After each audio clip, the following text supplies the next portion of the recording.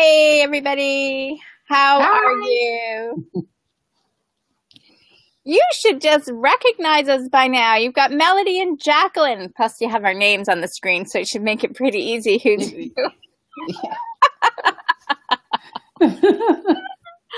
and we're talking today about living from your heart because when you live from your heart, you do create your best whole new world and have the you know the, the dreams and the desires of your heart come true because you're living from that heart space so mm-hmm. if you caught the beginning or the first series we did which was opening your heart mm-hmm. we went through seven steps and melody why don't you just recap that all and tell them what they're up for today with um, appreciation of masculine and feminine energies yes um, recapping opening your heart. It, we were just talking about really connecting with your heart knowing how your heart feels and you know getting it to start feeling again feeling love and and light and fun and joy. And then we moved to gratitude which we think or we believe that if you're not grateful for all the blessings and the things that you're given or of your partner and all they are contributing to your life you are not going to be enjoying your life much. And then we moved to uh, forgiveness. Forgiveness, yes. we moved to forgiveness, and we are talking about forgiving yourself all those mistakes that you think you have made. They're done, it's in the past, it's over. And all those things that other people have done to you as well, you should start to forgive them and let them go because that's the only way you can live from joy if you let go of, of things that, you know, have been done to you. And then we moved on to healing. And healing is just healing your heart from pain and all the other gunk that has happened. Maybe some guy when you were 16 or 12 broke your heart and you've been carrying that your whole life. Now you're 50, whatever, and you're still carrying that. It's time to heal that so you can live from your heart space and with joy. And then we moved to what did we move to now? After healing, we moved to choosing joy. And this is when you are choosing how you want to live your life, how you want to celebrate your life to just choose, I want to be joyful and, and live from that space because you can do that. No matter what's happening around you, you can live that way. You can live joyfully, or you can be, you know, have to process some things and then go back to your joy. That's also an option you have. So you you should make a commitment to live from your joyful place because that helps you to connect more with your heart. And then we ended with acceptance and appreciation. Uh, yes, appreciation. And we we actually are still doing a game where we are appreciating things as they come into our lives. Because when you appreciate somebody, uh, they they feel that whether you tell them or you don't, they feel that. And when they feel appreciated, they are going to be more open to you, more kind, more generous, more willing to do all those things you want them to do. And when you appreciate life, you have more joy and more fun in your life as well. So that's the recap. And now we are moving on to now you are set. You are you are willing now to have a relationship with somebody, uh, mm-hmm. uh, a man, and you are exploring. This is more. It's not just for singles. You might be married, but you haven't been connecting for years. You're you're living together, but so far apart you could have an ocean and nobody will notice. So now we is it the Pacific Ocean though? The Atlantic Ocean? Yes, I, I don't know. They're big. but the bigger of the two. So yeah, so when you have that that distance, but you are craving commit commitment, you're craving connection, you're craving intimacy, you're craving joy, you can still benefit from this series as well. We're calling it dating, but it's it's more like uh, rediscovering or discovering yourself and your, what you want and you need, and also rediscovering men, who they really are. You know, not what society is telling us, not what TV is telling us, but who we really are at our most core and basic. who we want to be, what we need, what we crave, what we want from each other, what we want to give each other, because. That is important. When you start wanting to give each other what the other person needs, then things start to shift because you're not dictating or conditionally giving love. You're saying, I know you need this, and this is what I'm willing to give you. I- will give an example. Yes, uh, I'll, I'll, give I'll give two examples actually. I have very a bunch different of questions that are coming up. So okay, I'm gonna uh, just calm down and wait to give me the example before I jump on this one. okay, all right. I'll give an example. My my example is when I first started dating Taurai, my husband, my late husband. We he used to be late for dates all the time, right? Okay. And most girls would say, "Oh, he's doing that because he's going to another girl, and then he'll come after you." Blah blah blah. And that's I believed it to a certain extent. And I would ask him, "Where were you?" And he would say, "I was I was cleaning the house, and I was making dinner for my dad, or I was cooking for my dad, and I did the laundry, and I did like he would have a list of chores he would have been doing." And I didn't know him that this well was, at the time. This was while you were dating. While we were dating. So okay. on a right. Saturday, because in Zimbabwe, when you're dating, you usually just see each other on a Saturday. Okay. Okay. okay. So, so on a Saturday, when we were supposed to meet in town, he would wake up and he would do all his chores, and then he would be late because he was a very method- methodical person. Right. He would be late. He would do all these things methodically, Unfortunately, the day will be nearly over by the time he's finished. He's methodically doing things. So we, we every time we started our date, we would have a fight because he was a minimum of an hour late. Uh-huh. I'm not joking. Okay. Sometimes there were times when he was two hours late, and I would be standing on a street corner, and the vendors would be laughing at me, and and they would say, "Oh, he's not coming," and I would be so embarrassed and so humiliated and, and upset as well. And then he would come, and the first half hour would be having a fight. And I'll be shouting at him and calling him names and all sorts of things. And I would say, You can't treat me like this. Then one day, it occurred to me one, I didn't like this whole idea of having a fight all the time because it obviously it wasn't achieving anything. And I thought, hmm, what if I start getting ready? Because I'm I'm fast. I get things done very quickly. What if I start getting ready at the time when we're supposed to meet? How would that change things? Right. You you'd so, get get there later. Yes, but that right. also means I'm not waiting for two hours or one hour. Yeah. if he's waiting for me, it doesn't matter. right.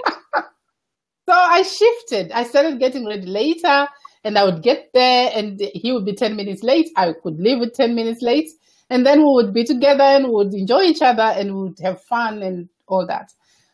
But that's if I had not done that and I kept insisting on him being on time, that was never going to happen. And this happened. My whole marriage, I was always the one waiting. That's strange for most people because usually men are saying women are the ones who do this. In my marriage, it was the opposite of that. Mm-hmm. And I learned to live with that. I learned to say, okay, this is who he is. He's never going to change. Sometimes right. it would frustrate me if I wanted, because I like being early. It would mm-hmm. frustrate me if I wanted to go somewhere and I wanted to get there quick and he's taking his time.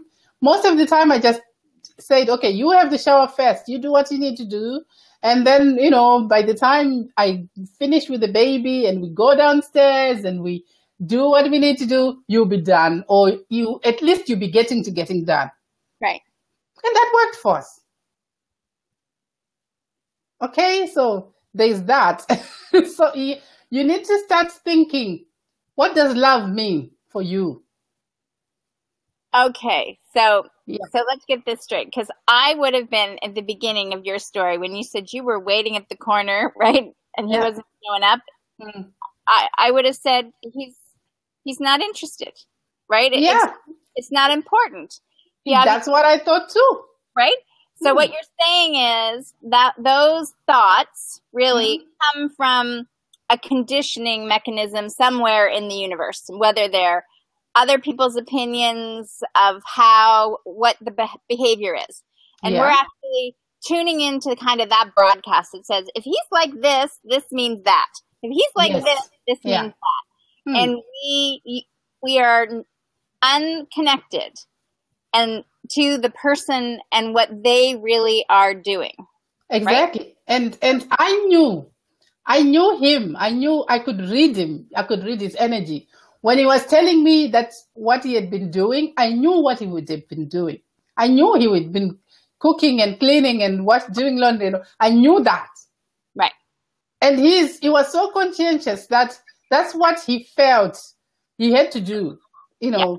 because that's that's just the way he was. And then I started thinking as well that, you know, this is the kind of man I want. I want a man who's conscientious, who's doing laundry and who's who's looking after his dad and who's doing oh that's the because he if he can do that for his dad and be late for me, mm-hmm. he is going to be more there for me when we are together. Right. So it's very important then to be present. Yes. To ourselves, right? Because yes. when we're present to ourselves, then we're paying attention to what really feels true to us. Yes, and and that's your intuition. You need to to know it and to trust it. And that's a good because yes, this whole story over here, and there's so much about men, women, relationships, what you should expect, what you shouldn't put up with, what should, should, should, should, should. And for those of you that know that you, when you should, you're just shoulding, shoulding, shoulding, shoulding. and, and, and just, you want to just let go of that and be present, and then you'll know the truth.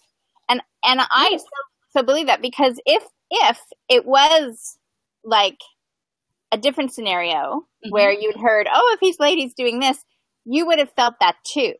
And yes. and in those situations, for those that are watching, when you have that feeling that says, oh, I really do, you know, I don't want to believe that he's somewhere else with someone mm-hmm. else. But mm-hmm. if you're mm-hmm. really feeling that that is, have the courage to do it right to ask that question and i had one of those situations as as i was finishing up with my my ex we had been separated mm-hmm. and i was you know he was still asking me out for coffee and you know i, I was thinking we were you know he was still working through his stuff and i was giving giving him that space mm-hmm. and then one day it just it just sunk right to me and i thought what am i really here for like yeah. like why am i here because I don't really think he's working things out. Like, I really don't think he's working things out, right? And I just took a mm-hmm. moment. Mm-hmm. He went to the washroom, and I just, because he's like, well, should we have another cup of coffee, right? Because he's just like, we're getting along so well. And yeah. I just took that moment, and I just like, why am I here? And mm. I clearly got, ask him if he's seeing anybody. Mm. And so when he came back to the table, I said, so I just got one question for you. Are you seeing anybody? And he's like, well, yeah, you know, a few people. And I was like, okay, done.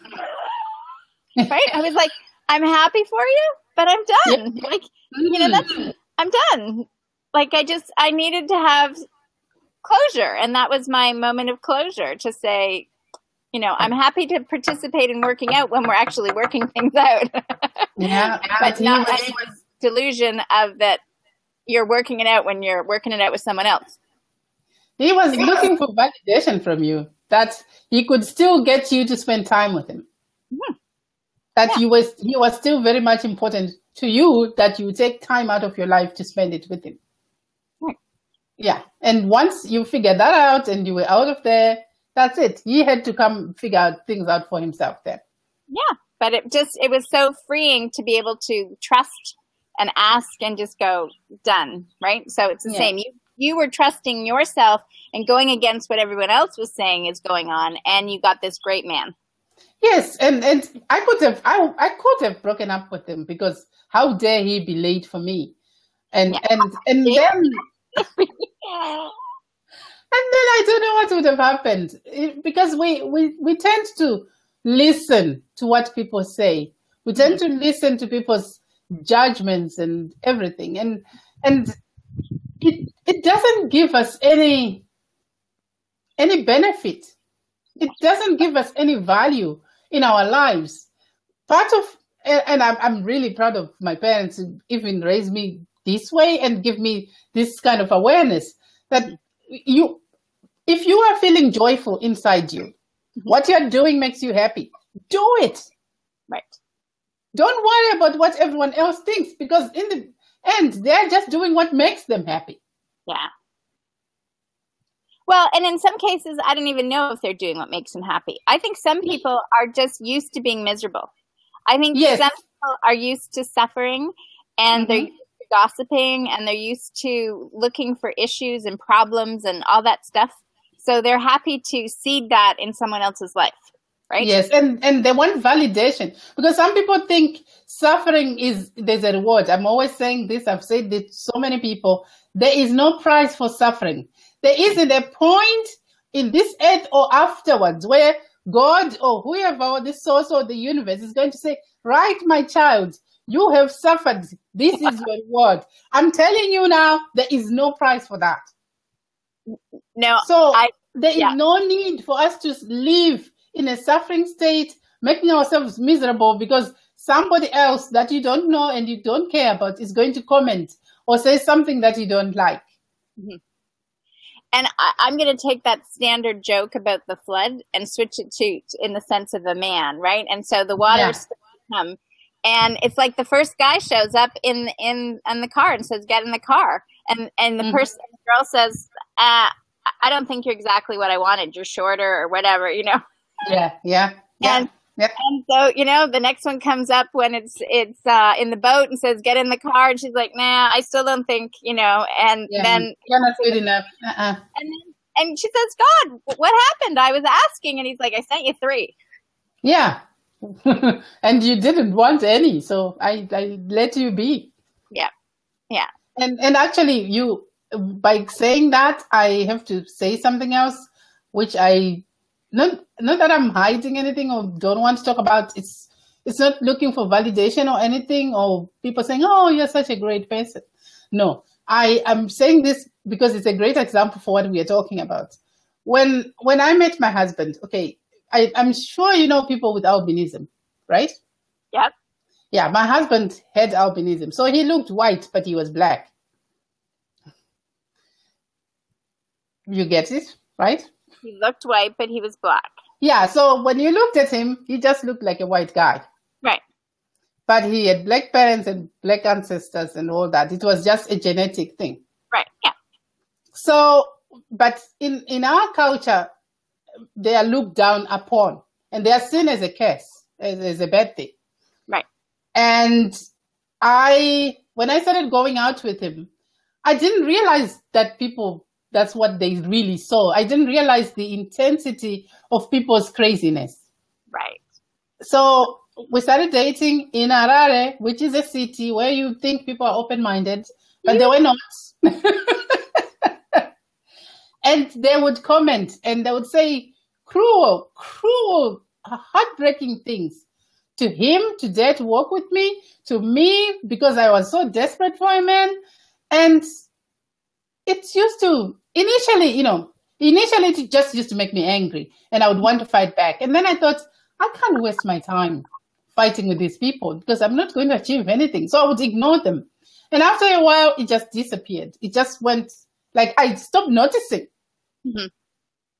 And then it just, it just, all that stuff that was going on stopped completely. I never ever experienced it again. But I do remember one day he, he, he looked at me and he said, you know, I'm so sorry. And I said, for what? And he said, for all these things that people say to you, I'm used to it. I was born like this. And I said, well, I wasn't blind when I fell in love with you. And I really don't care what they, because they don't know you. They don't know how awesome you are. They don't know what a loss it would be for me if I walked out of your life because they care. Because I would never find anyone like you. Right. And yeah, oh, and that, that is so beautiful that you shared that because that is really the truth for a lot is is sometimes the gem hmm. the gem for a lot of women is a little different than what they expect. Yes. And they really there's some healing that needs to happen which is why we're doing the series for them mm-hmm. to receive and i'm i'm reminded and my kids i've told my kids this because i had a very wonderful um, Glack, good mm-hmm. friend in high school, and he was he was like my best friend, and yeah. he loved and adored me. But I had such stuff with all the abuse and things that had gone on in my life. I really felt so unworthy. So hmm. whoever mm. I was interested in was always the wrong guy. Yeah. And I I could never I can I could see that so clearly like as I got older that I mm. could never receive his love. I could receive we could be best friends, we could do everything together, but I could just never receive it because I didn't feel I really deserved it. Yeah, a lot of people have that. Yeah.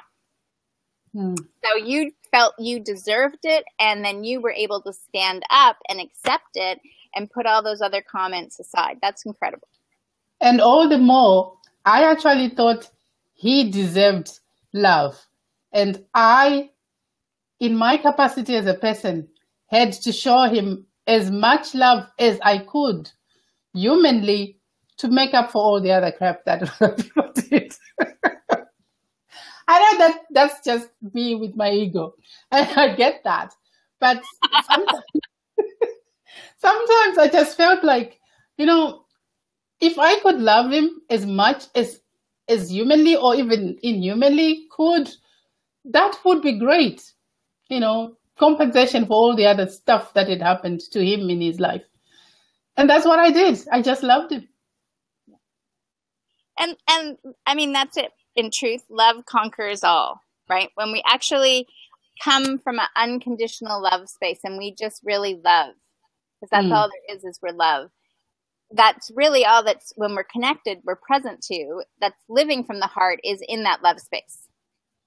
Yeah, and that's really opened me up. That love, that willingness to to feel love at its deepest and and most precious place opened me up to to today, to me living from my heart space, from me loving everybody who comes in my life. Because now it's not just about men and women. It's it's bigger. It's it's me meeting Jacqueline for the first time online and loving her because wow, she has time to spend with me. It's me being with my child and feeling that emotion and thinking, wow, I love you so much that I could love 10 million people. I've got the capacity for that. I'm not limiting myself anymore saying, oh, it's only my husband and my child and nobody else. It's, it's everybody else, everybody in the world, everybody I come across should feel that love coming out of me. Yeah. And, and from my perspective, um, when we're connected, right? That our hearts are. We're all unified in God, you know, the unified field, if you're a scientist, whatever you want to call it. Mm. It, it's just that presence and it's all interconnected. And yeah. so it's only natural for me to look at you, Melody, and say, I love you, I adore you, I think you're awesome, because that's the world that I see, yeah. right? Mm-hmm. So then that's the world I experience. And if in the past, I would have mm. been looking through it with these glasses and say, You're not good enough, right? Yeah.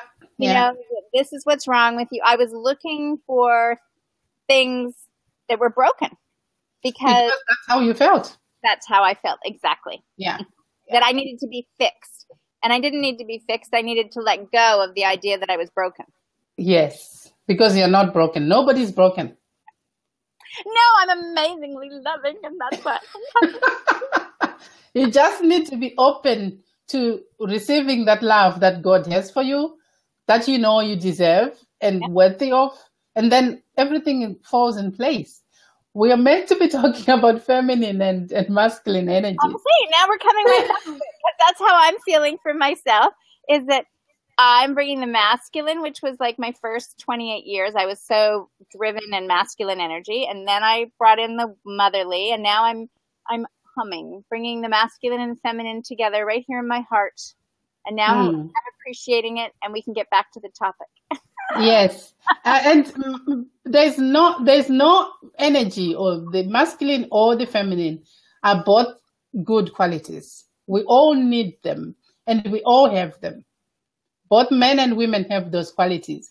Women have got the masculine qualities more than men do, and and the vice versa. But also, women can actually, because of the X and Y chromosome, we're going into biology now, not too much. We can we can do both very effectively. We can step into being masculine and and do great things there, more than a man can try to be feminine. Actually, some men get terrified when they have to be feminine. They think they are not they're not they're not manly enough, so they tend to want to stay away from anything that could uh, mar them into becoming feminine. But that's a different story. Whereas with the with with the feminine, you are softer, you're open to receiving, you're also giving, you are nurturing. When you understand those qualities and how to use them, you win with men all the time. You're not manipulating them. But if you because if you if you approach a man from from a masculine point, there is no way you can win anything with him. Not respect, not love, not appreciation, not affection. So, but if you approach men, um, any man, brother, sister, father, brother, father, uh, uncle, whatever, if you approach them from a feminine point of view, mm-hmm. when you inspire them to be giving and providing and and protecting, mm-hmm. they will do everything for you. Okay, you so need, being yeah. okay, so I'm going to take on the hat of okay, like I'll I'll be a, one of the women that are out there that are saying, well, hold on, I mean, that's who I am. I am a go getter. I'm a I'm a decider. I have I can do anything a man can do and what you're telling me now that I'm supposed to quiet that down and let him do things for me. I know we talked about this in the other part of the series, but mm-hmm. I think you need to this is a conversation that has to be reiterated. Okay. I I will give you an example of my mom and my dad. My my dad used to admire my mom because she was a go-getter. She would do everything well. She could make a decision. She didn't need to wait for him when he came home from work to decide to do something. Right. And yet she would allow him to be a man she would soften. Like it, it's it's funny. Even when she was reprimanding him, she didn't do it in a way that she was yeah yeah yeah yeah. yeah. No, my dad knew he was reprimanded by the way my mom held her body. When she was tense, she was angry. We all knew that, but she never used angry words ever. But my dad could read, he could see, and she would say, "Uh, uh-uh, I don't like that." and he would know she's she means she doesn't like that. She's not saying let's play around and whatever. And so when we are saying you are supposed to be softer, okay, you have a choice, right? Mm-hmm. If you want to live with a man successfully, then you need to understand that when you are with him, you mm-hmm. need to be more in your feminine energy than in your masculine one. Okay, so I'm. I'm like, I'm doing so okay so far. Okay, then I'm just like, what does that mean? What does that mean? Oh like, you know, because what does that really mean for me doing? Okay, it just means it, for me. I'll give an example of what that meant for me. Okay, my husband Taurai used to insist that he should carry all the bags. I am well capable of carrying all my luggage. Okay? I'm so capable of it. But it made him happy to carry all my luggage. So I allowed him to. I held on to my handbag and he struggled with the luggage. Okay, so if I'm asked a question, what do you think? Do you want to do this or do you want to do that? I would make a decision. I would not say make a decision for me. You get me? Right. yeah, I would still say, oh, I prefer to do this. Or I prefer to do that. Mm-hmm. And he took me, but I would, if we were walking out, if there was someone attacking me, I took a step back because he has to defend me, because he needs to feel like he can defend me, even though I can defend myself. Right. Yeah. Because then we are not in competition. I'm not trying to prove I'm more masculine than you are. Okay, and it means it. And here's the kicker, because I'm feeling it. You know, it, I'm breathing through it. okay. I, I, need the, the the feather. Okay. Um, mm. is by by me allowing him to carry my bags or open the doors or mm-hmm. stand there and say, "Hey, don't say that about her," or or yeah. whatever. It it means nothing about me. It it, yeah. it it doesn't. You know, that's what I'm feeling. It's like okay, so everybody. Else, it doesn't say I can't do it. No. It doesn't say I need him to do it. No. It just says I'm let me see if I can even get these words out, Melody. Okay, I am choosing to allow him to to demonstrate his masculinity because that's how he's demonstrating he loves me. okay.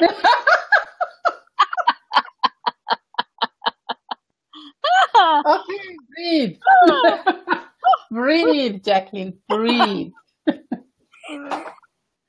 How does that feel for you? Saying that. I think I might have to do it three more times. I'm choosing, I'm choosing to allow him to be his masculine self mm-hmm. by by giving him the space that he can say, "Hey, you know what? I can care and take care of you." Mm-hmm. And he chooses to act that way, and I choose to say, I love you and I want you to be all you're meant to be. And if that makes you feel good, I'm okay with that, even though I know that I can handle Yeah. And, and that's because the funny thing is, he would be so proud when he, he's not there and you are handling things. He is so proud of you. He'll be telling his friends, My wife can deal with anything. But yeah. if you are doing it in his presence, you are emasculating him. It's it's a it's a minefield. but Uh, let yeah. me just say there is no word for emasculation for women. There's no effeminate. No. yeah, there isn't. But there is a word for men because it takes very little very little to make a man feel small. Even just saying you are not a man can emasculate him. It will take him years to get over that. Melody, we're, we're going to be talking yeah. every week on these things, right? So there's a there's a lot that I'm sure that I can bring up to the table mm-hmm. and get cleared here. So the kicker between the feminine and the masculine is we are feminine as mm-hmm. female, but we do have masculine energy in us. Probably from my yes. perspective, the rise of feminism was that rise of that masculine energy, but then we decided yeah. we tried to act like men instead of just being able to know we can take the actions like a man. Yes, without right? needing to be man. Right. And we we mm. are worthy to be what we thought just only men were. So we have that aspect and the mm-hmm. men mm-hmm. are now coming in and learning that they can receive mm-hmm. right they yeah. can be more loving mm-hmm. that you know they can be more caring as well as though that they're they're hardwired mm-hmm. to be sort of monotonous in thought focus mm-hmm. yeah. and taking action to say i'm protector yes right yeah am i getting it yes you are Perfectly. Yeah, you're getting it really well. So every time in on my past when I'm like, I don't need you. That's really what I was saying. I don't need you. Yeah, yeah, yeah. And, mm-hmm. and hence they're like, yeah, well, why am I around? And and I'm like, yes. I don't yeah. know. Okay. And and one of the things that we forget as women is men are terrified. Like today's men, today's men are terrified because women don't need them. We don't really need men in our lives. It's a choice we're making.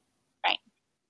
But when we make that choice, we need to make it with our hearts and know that when you are living with a man, you need to live with him feeling better as a man instead of feeling worse for being with you. Well, that makes perfect sense, right? Like, yeah. why would just a very broken man would would, mm-hmm. would stay with someone who just like a broken female would stay within a in a relationship that didn't make them feel good but if yeah. they they love themselves they want to feel more love being with you right mm-hmm. Mm-hmm. yeah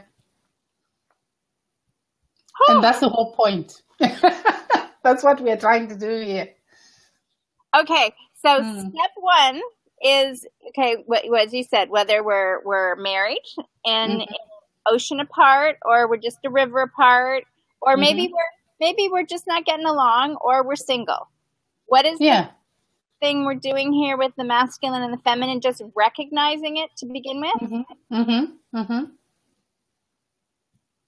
Recognizing it look at the traits what are the feminine traits and what are the masculine traits look at how you use them when are you masculine or are you ever feminine or do you think you're being feminine when you really are just being masculine? And how many times do you feel like you are in competition with men? And so, then move on from there. Yeah. So what did you mean by are you are you being feminine but really being masculine? I mean, like sometimes women think they're being women, but they are really behaving like men. I'll give an example. I have a friend who has a husband that she's always telling. She's competent. She's like independent. She does everything for herself.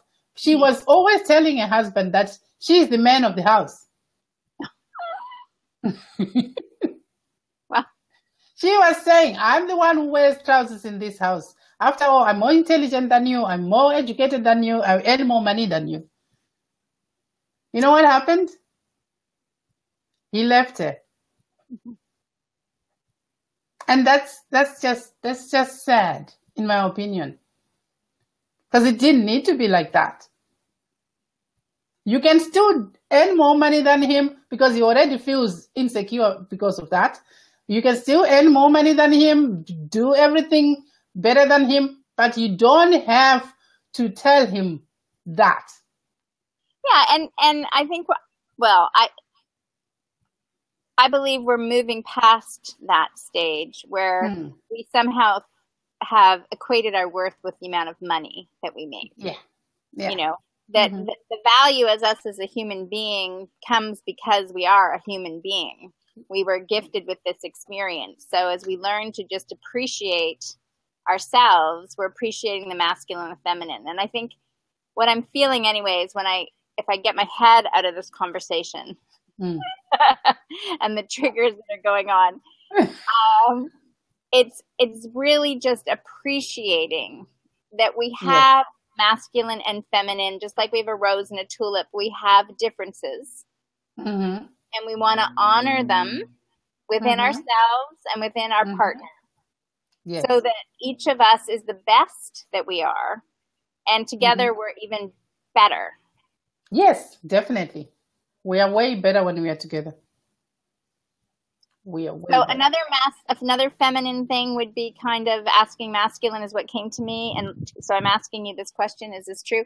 So as a female, thinking I'm being female, and I'm like uh, um, more aggressive, let's say, or assertive in in sexual intimacy. Mm.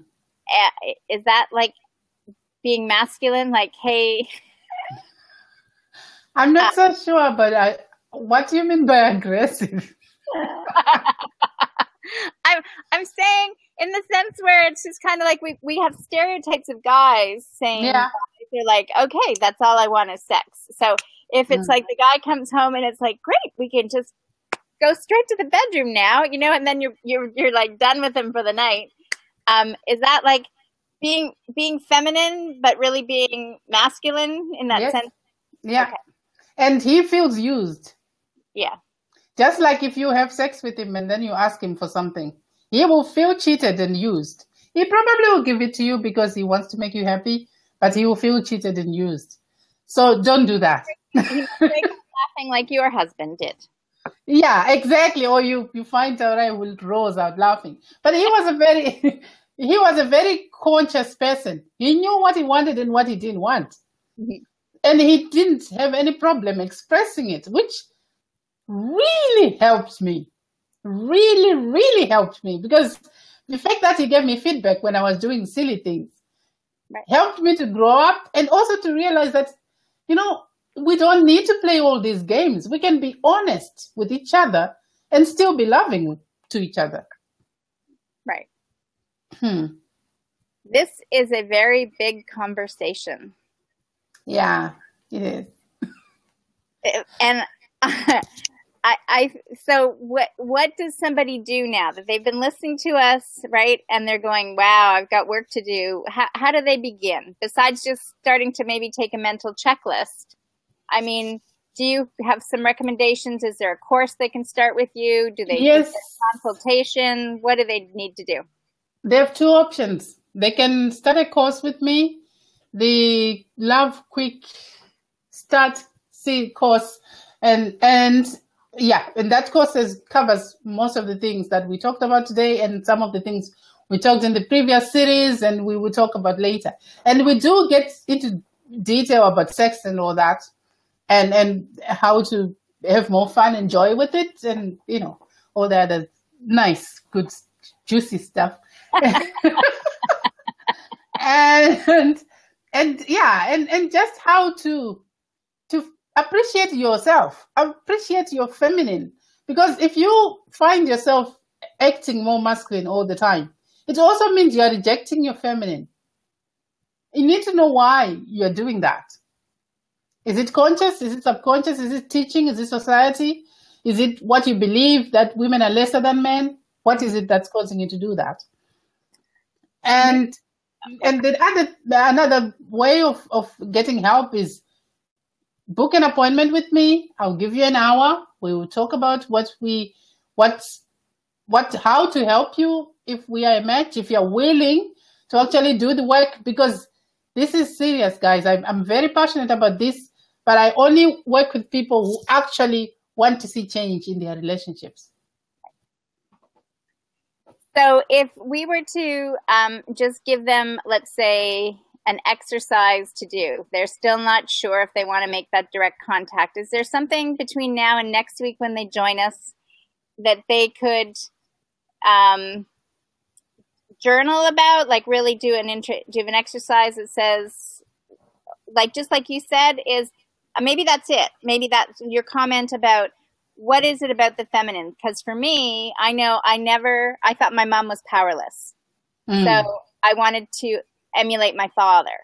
Uh-huh. So I, I, did not want to be the feminine, but yet mm when I became a mom, so I still had this one masculine energy, but in the background, it was all like, you're worthless. yeah. Yeah. Okay. So mm. it was again re- resisting that feminine energy until mm. I, I saw that and I could process that all, right? And heal that. Yeah.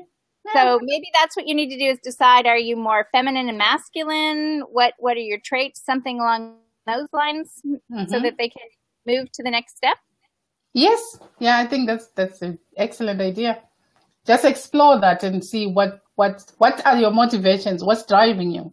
Is it fear? Is it love? What is it? Is it are you even unconscious of what's driving you? Because most people are unconscious; they don't even realize that's what they're doing. So that's a. I'm going to write here. This is let's see. What is driving you? Right. Mm-hmm. Mm-hmm. Your relationship. What did you say about that? Is it, is it fear or is it love? Fear or love? We want to hear your comments. Mm-hmm and shares for next week? Yes. Sure. Okay. That sounds very, very good. I feel like we did tremendous amount of work for the whole feminine masculine world out here today. We've really mm-hmm. um, set a new uh, conversation in motion, Melody. Mm-hmm. Mm-hmm. Is there anything you would like to complete on? Uh, really, it's just that. Live from your heart. Love freely. Enjoy life. Have more joy. you know, that's what we're meant to be doing. Just do that. Life will be easier. and on that note, we'll be with you again next week. Yes. Thank you. Bye.